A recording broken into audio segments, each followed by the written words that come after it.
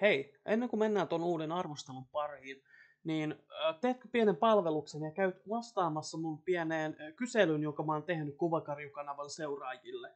Linkki tuohon kyselyyn löytyy tämän arvostelun kuvauksesta. Siinä on tarkoitus vähän tutustua siihen, että millaiset ihmiset mun arvosteluja seuraa, millaisia tulevaisuuden toiveita teillä on, ja myös mahdollisesti äh, miettiä sitä, että olisiko tulevaisuudessa jonkinlaista Patreonia tai muunlaista äh, ehkä oheistuotetta mahdollista tehdä kuvakarjukanavaan liittyen.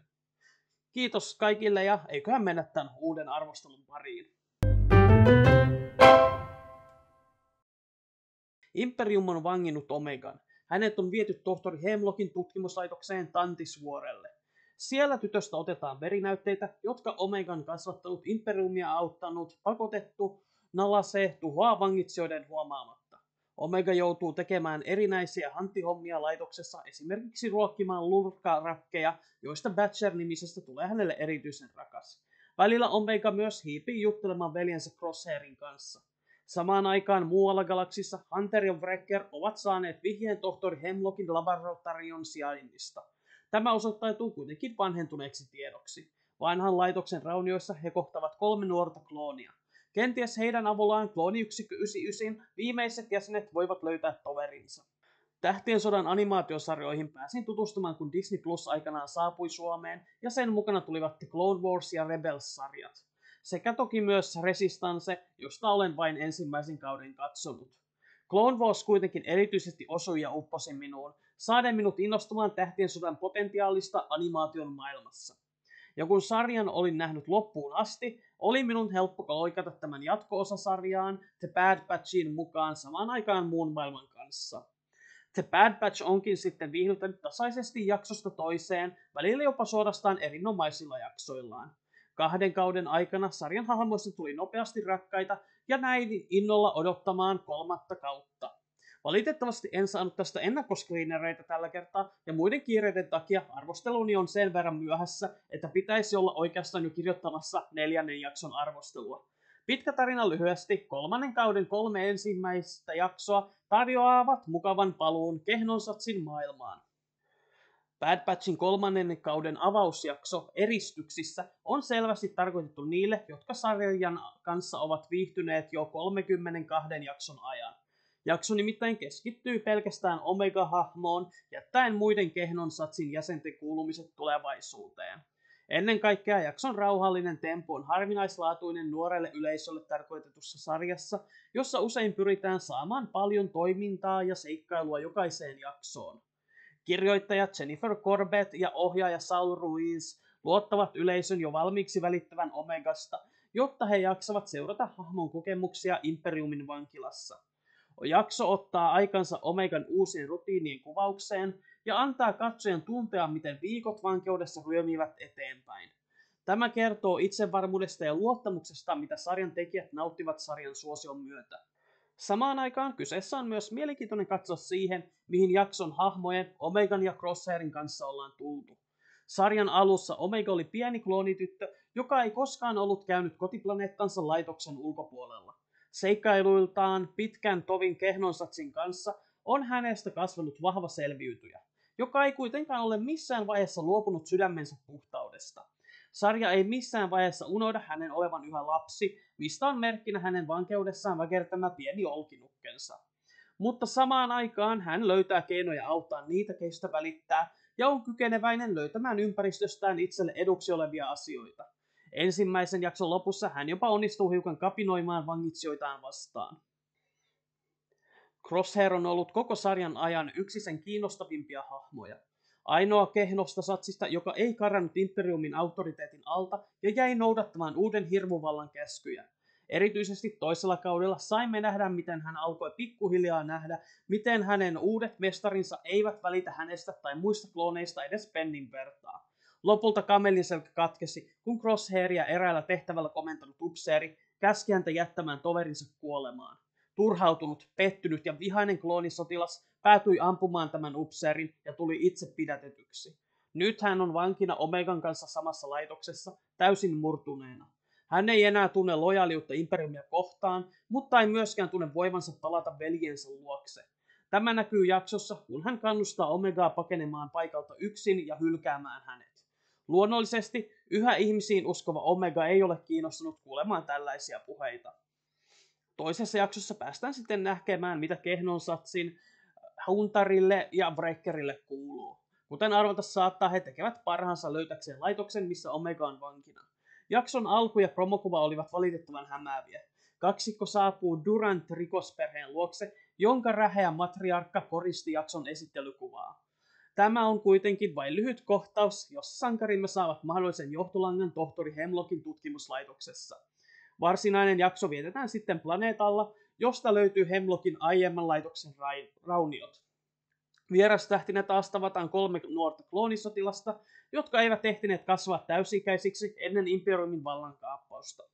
Totta puheen rikosperheiden maailmaan sijoittuva jakso olisi luultavasti ollut hiukan kiinnostavampi kuin raunioissa ja metsässä rämpiminen pienellä klooniporukalla. Tämä jakso tuntuu enemmän sellaiselta, minkä on tarkoitus esitellä kehnoasatsia uusille katsojille.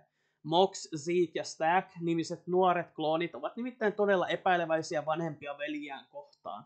Heidän kokemuksensa mukaan kaikki ihmiset, joita he ovat kohdanneet, ovat epäluotettavia ja kääntävät lopulta takkinsa tovereitaan vastaan. Jakson tarina kertoo tietenkin siitä, miten Hunter ja Wrecker vakuuttavat nämä nuoret omasta hyvyydestään, kun nämä näyttävät olevansa oman toverinsa jäljillä. Sarjan parissa pitkään viihtyneelle katsojalle tämä kuitenkin tuntuu hiukan itsestään selvältä. Ei tuntemattomia polkuja huono jakso ole. Hunteria ja Breckeria on mukava nähdä pitkästä aikaa, ja on kiva saada muistutus siitä, miten motivoituneita he ovat pelastamaan pikkusiskonsa ja toverinsa. Jakson uhkana tavataan mystinen metsässä vaaniva hirviö, jonka lonkerot muistuttavat lianeja, joihin pahaa aavistamattomat seikkailijat saattavat tarttua. Kyseessä on kelpo seikkailu, joka ei kuitenkaan tuo juuri mitään uutta sarjan maailmaan. Hirviöstä selvitään juuri kuten katsoja saattaa olettaakin, ja käänteet menevät selkeästi käsikirjoituksen mukaisella tavalla. Isoin ongelma lienee se, että Mox, Zeke ja Stack eivät ole kiinnostavia hahmoja. Heidän persoonansa jäävät ainakin itseltäni valahvasti unholaan. Muistan paremmin illallisen, mitä nautin jaksoa katsellessani. Itse tehtyä bolognese kastiketta, spagettia ja juustoa. Yksi kolmesta kloonista oli se kaikista epäileväisin, yksi avuliain ja yksi sitten johtajatyyppiä. Heidin tuskin arkkityyppeihin sopivat kloonit ovat parhaimmillaan ristiriidassa The Clone Wars-sarjan ponnistuksien kanssa. Siinä kuitenkin tehtiin erittäin hyvin selväksi, miten jokainen kloonikin on jakamastaan DNAstaan huolimatta täysin oma persoonansa. Kolmas jakso kantaa hihityksen arvoista nimeä Tantissin varjot. Siinä palataan jälleen Omegan tarinan pariin.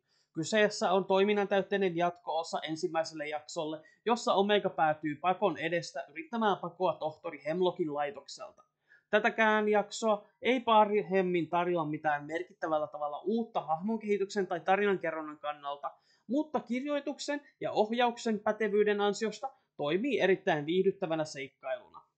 Ensimmäinen jakso toimi niin voimakkaana pohjustuksena Omegan tilanteelle, että jaksoon hyppää helposti mukaan, valmiina kannustamaan tyttöä pakenemaan.